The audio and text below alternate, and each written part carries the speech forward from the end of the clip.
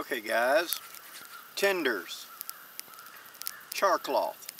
If you're going to be doing flint and steel, sometimes even with a ferrocerium rod, sometimes with a burning lens, char cloth is a very good catch that becomes a coal. Now if you're going to be doing flint and steel, you really want to use char cloth. And all char cloth is, is a cloth of some type that's 100% cotton the thicker the better to a point and it should be charred completely in a fire in an environment where there's no oxygen. Charred wood also wor works, works, excuse me, charred punk wood, etc.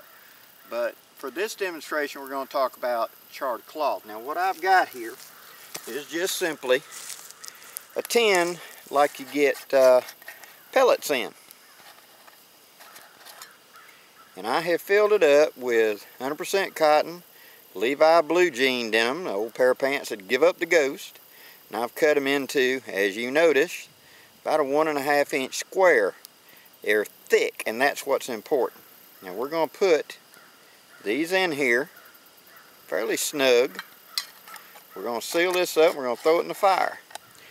As it gets hot and it chars, we're going to see smoke coming out. We're going to attempt, after it's got a good rolling boil, so to speak, we're going to attempt to light that. And it should burn like a candle. Once it does, and it's burning, and that smoke's boiling out, and you can set it on fire and it'll burn like a little torch. When the fire goes out, now that gas coming out, because that is the combustible gases being released, because again, we're burning it in an environment where there's not enough oxygen. Thus, it's making the transition to carbon. I'm going to grab it with a stick, shake it, turn it, keep doing it until no smoke comes out, and then roll it to the side and let it cool completely till I can pick it up by hand. If you opened it up, air gets in, whoop, flame. So you want it to cool completely. Then we'll test it for spark in a little bit. So hang with me, we'll be back when we're at that stage. Okay guys, now the char has been through the tin. We put it in a good hot fire. The smoke that come out was ignited. It goes in there like 25, 30 minutes, something like that. Took it out, shook it a couple times, put it back. This is what we've got now. Now we have char. Now, that big piece of denim shrunk down to that. Now what we do is we test it.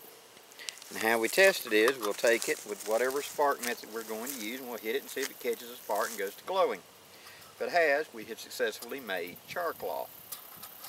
Now, your little storage tin like this can be a real handy way to keep it.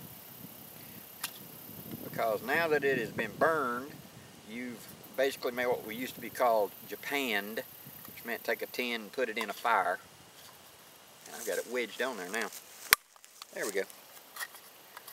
And since it only has the one hole here in the top, a piece of tape across that will take care of that problem. And that's a container that I can carry and store my char in. And when I need more char, I can use this container for it.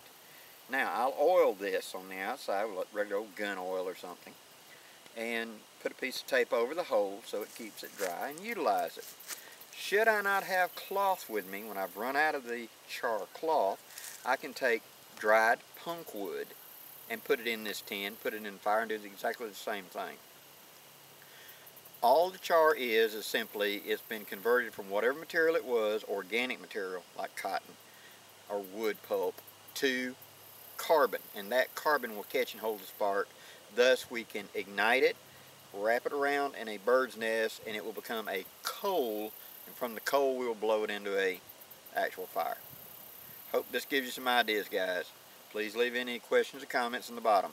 I'm Blackie for Shaman's Forge Bushcraft wishing you safe journeys. Have a great day guys.